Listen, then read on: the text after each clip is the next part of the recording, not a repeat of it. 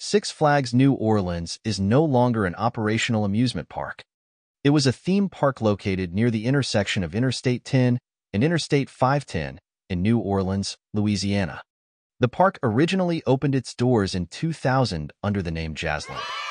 Six Flags took over the lease in 2002 and invested $20 million in improvements before reopening it as Six Flags New Orleans in 2003. Unfortunately, Hurricane Katrina struck the region in 2005, causing significant damage to the park. Six Flags decided the property was a total loss and permanently closed the park in 2006.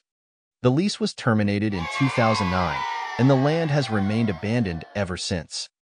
There have been several failed proposals to redevelop the site, and it remains in a deteriorated state. However, there are new plans in motion.